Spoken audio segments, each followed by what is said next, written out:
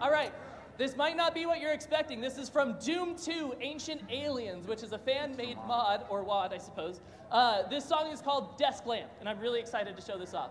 Desk Lamp, here we go. Sounds interesting. Here it is. Yeah. I got it. Skill. He's like, just, just put it down. Just Put it down.